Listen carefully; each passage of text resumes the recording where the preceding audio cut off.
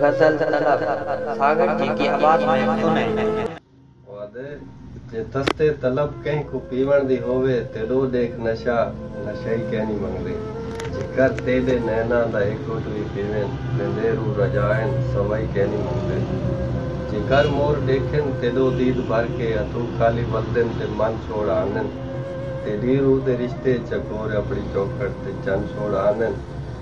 मुसाफ़िर जे पंध मरेंदे पियो वन तेरी सिक ते पंध लाज़ा खन छोड़ानन असांजे फ़क़ीरे न दस क्या कसूर तेरो शहनशाह भी अमन छोड़ानन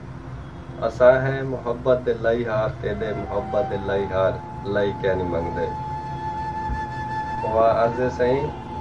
भुला जुर्म सादा सिर्फ रंज के सट के सखी नाल साडे तो एक लाज़ा बह वञे फलके दी चादर तेरे कीते हाज़िर थकेड़े लहा तो थई रात रह वञे अख दा बिस्तर गरम न लगे ता सीना गरम में तो सीने ते डह वञ जे डे जुल्फ रेशम को एक वाले इशारा हुआ नाज़िक जे ही गल ते रह वञ तेरे कैदी पे दीद दी चोग मंगदन तेरे कोई कफस तो रिहाई कहनी मंगदे